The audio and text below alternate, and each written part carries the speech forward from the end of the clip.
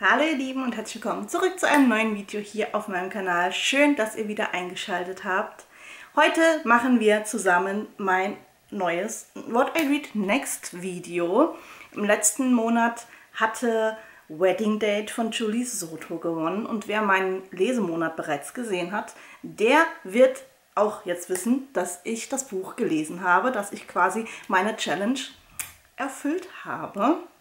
Jetzt machen wir heute weiter mit den nächsten vier Büchern. Ich habe mir wieder das Oberthema New Adult ausgesucht. Ich habe also quasi vier Bücher ausgesucht, die im Bereich New Adult, die sich im Bereich New Adult befinden. Ich habe gerade ein Buch auf meinen Fingernagel fallen lassen und das tut jetzt gerade höllisch weh.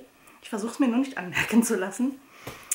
Ja, ich würde auch einfach sagen, wir starten mit dem ersten Buch.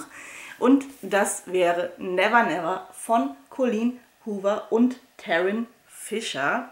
Ich habe von Taryn Fisher noch gar nichts gelesen, aber ich bin ein großer Colleen Hoover-Fan und es klang sehr, sehr vielversprechend. Ich habe das Buch bestellt, nachdem ich ein TikTok vom DTV-Verlag gesehen habe. Aktuell ist der DTV-Verlag ja ein bisschen in Ungnade gefallen mit der ganzen Iron Flame-Thematik oder mit der ganzen Buchstadt-Thematik.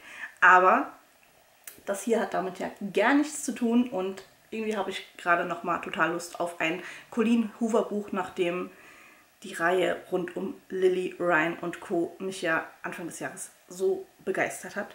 Und jetzt erzähle ich euch, um was es hier geht.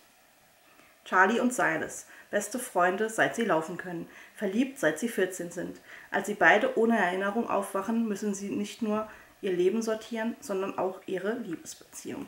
Ist wirklich ein ganz, ganz kurzer Klappentext. Hier steht auch noch ein romantischer Thriller der Bestseller-Autorinnen Colleen Hoover und Taryn Fisher. Also ich bin gespannt, wie die beiden da zusammengearbeitet haben. Lasst mich doch mal überraschen. Aber das hier wäre Buch Nummer 1. Das nächste Buch habe ich euch, glaube ich, schon ein paar Mal bei meinem What I Read Next in die Kamera gehalten. Vielleicht gewinnt es ja auch irgendwann mal, damit ich es endlich lese.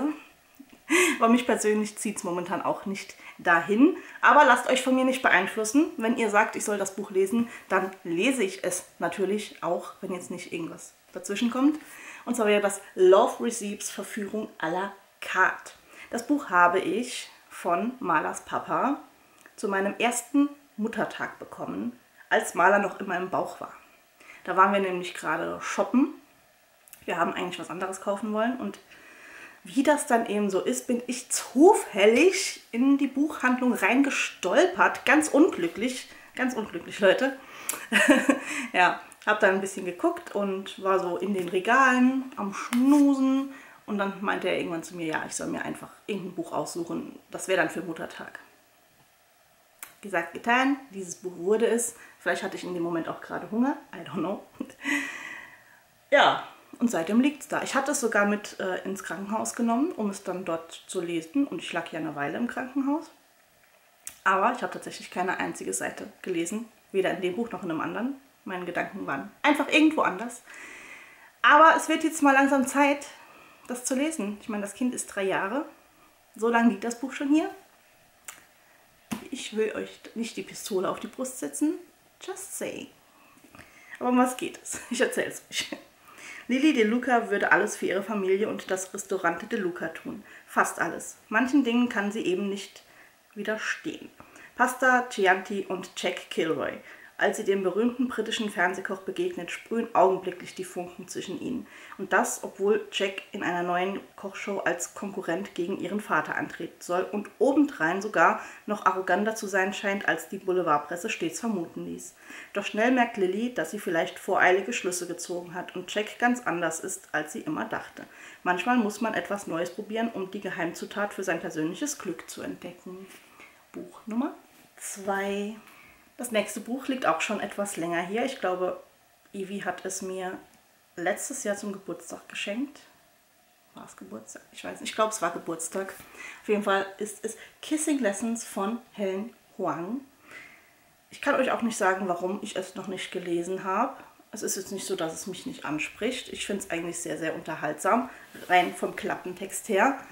Aber irgendwie hat es sich bisher immer noch nicht ergeben. Ich habe es euch, glaube ich, auch schon ein, zwei Mal in meinem Sub-Votings-Video gezeigt.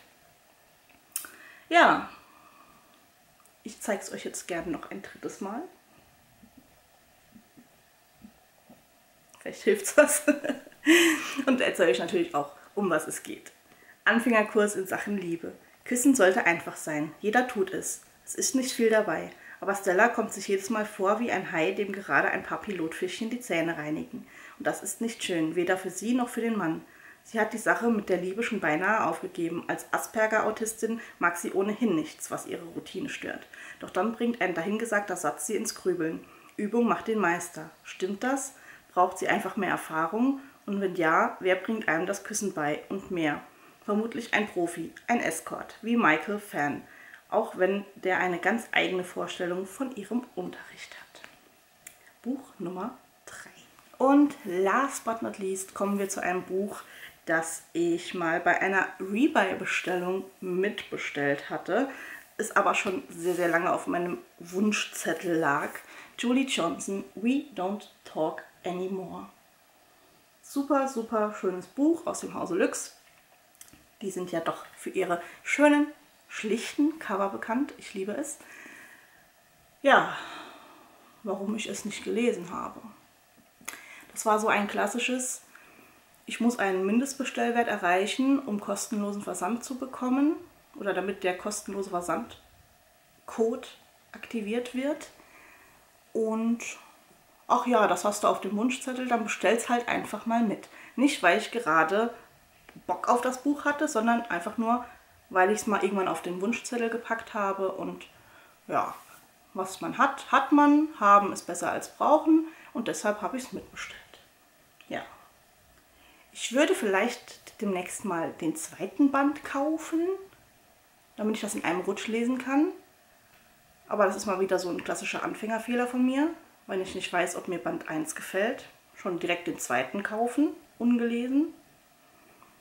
Könnt ihr mir gerne mal verraten, ob ihr da auch so blöd seid, ohne euch jetzt zu kritisieren. Aber ich denke bei mir dann auch immer, bist du so dumm, das zu tun, jedes Mal aufs Neue, wenn du Band 1 noch nicht gelesen hast, wenn du noch nichts von der Autorin gelesen hast, aber Hauptsache du hast schon mal die 85-reihige, äh, lebendige Reihe zu Hause. Ja, First World Problems. Aber jetzt erzähle ich euch, um was es hier im Band, im Band 1 geht. Josephine, Valentine und Archer Rice sind seit ihrer Kindheit unzertrennlich, obwohl sie doch unterschiedlicher nicht sein könnten. Zwar besuchen beide die elitäre Exeter Academy, aber während Josephine als Tochter reicher Eltern mit Privilegien und Erwartungen aufwächst, muss Archer für seine Chancen und Erfolge kämpfen.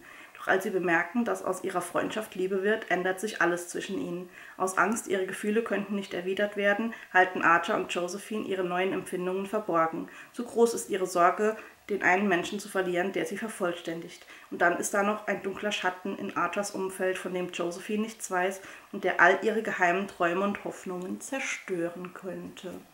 Buch Nummer 4.